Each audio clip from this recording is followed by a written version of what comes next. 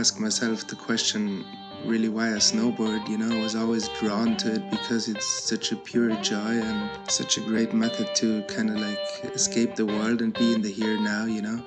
Eventually grew a bit tired of riding the same boards and things became a bit stale. So at that point, uh, pursuing the idea of handcrafting and testing our own pow surfers and surf inspired um, designs every time I, I open the workshop, it's like going into a magic box, you know? It's like imagining the next uh, board and mission and how it would feel like.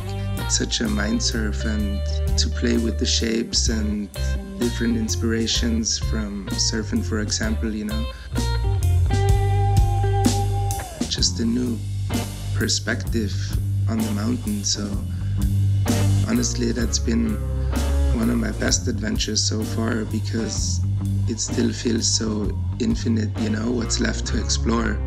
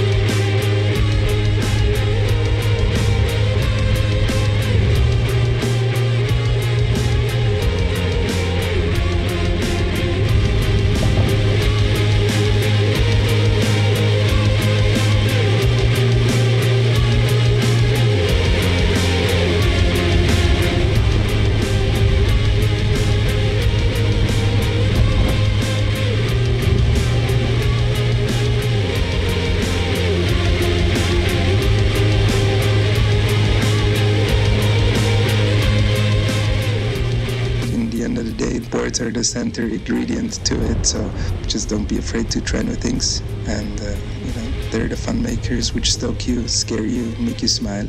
Just uh, follow your passion.